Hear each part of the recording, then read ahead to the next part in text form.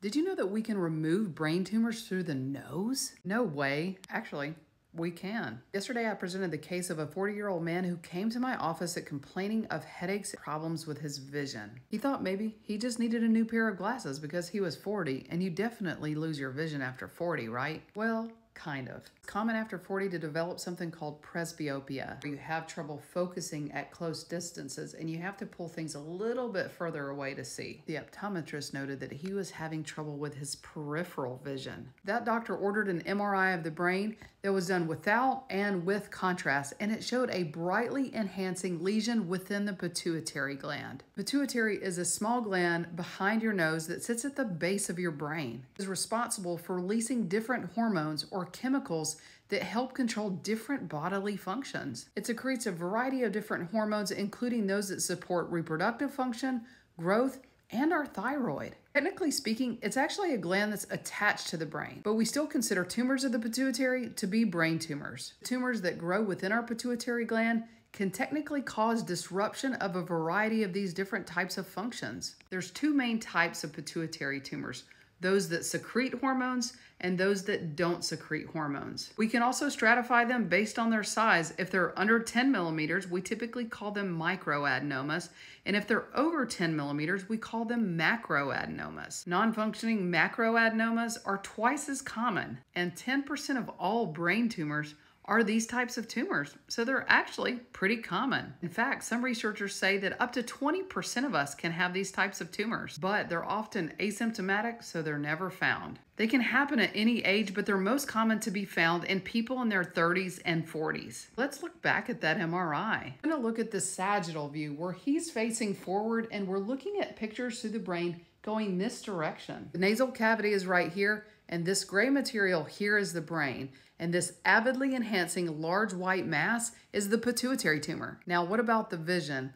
The visual pathway in our brain can be quite complex, as you can see. We interpret vision through a sensory pathway in which is detected in the back of the eye, and it relays through the optic nerve through all these visual pathways that are ultimately connected to the occipital part of our brain. The occipital lobe contains our visual cortex. What the heck does that mean? It's the part of our brain that processes that information. It goes from the eyes all the way to the back of the brain, and if there's any compression or interruption of this pathway at any point, it can cause trouble with your vision. I discussed the anatomy of where the pituitary gland is located, but right above the pituitary gland lies our optic chiasm. And the optic chiasm is a part of our visual pathway. If it's compressed in any way, it can cause decreased peripheral vision. That doctor understood that, ordered the MRI, and helped us make the diagnosis. Remember that medicine is a team sport and we all play roles on the healthcare team. Doctor knew that there was a problem, ordered the right testing, and got them in the right hands. Done a previous video on a prolactinoma, which is a small secreting microadenoma, but this is the first video where I've explained a pituitary macroadenoma. And the good news is it's completely benign.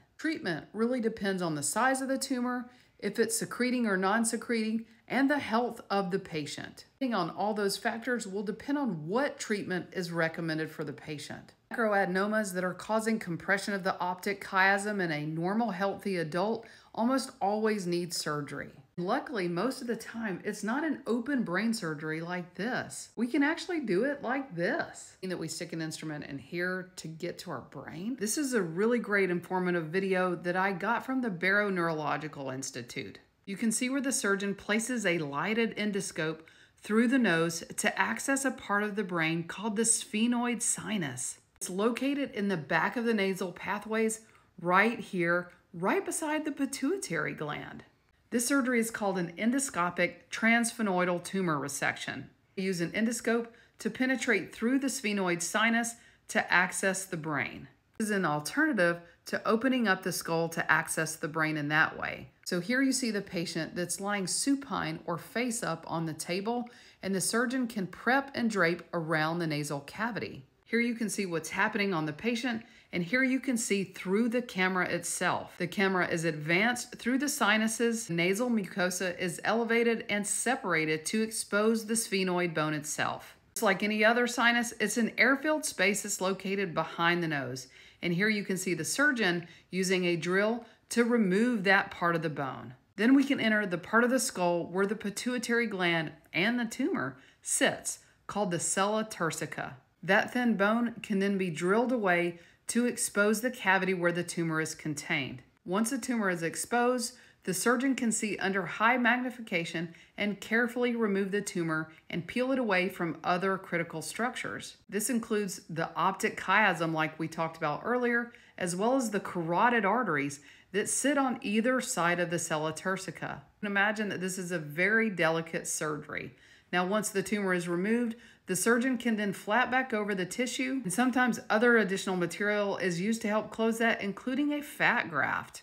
These can be done by trained neurosurgeons and also can sometimes be assisted by ENT doctor. This is typically a very safe operation, but just like any surgery, there are risks involved. That can be damage to the normal pituitary gland or damage to the surrounding structures, in addition to a CSF leak through the nose. That's why it's extremely important to follow the doctor's directions after this type of surgery. These are extremely slow growing tumors and often surgery is curative. We will usually do routine screening MRIs on a regular basis to make sure the tumor doesn't grow back. In our patient's case, I referred him to a specialist that performed this surgery and he had a gross total resection of the tumor and did extremely well. He had no complications with his surgery and regained all of his vision. Another case of patient focused and compassionate care. Stay tuned next week and I'll go through another case.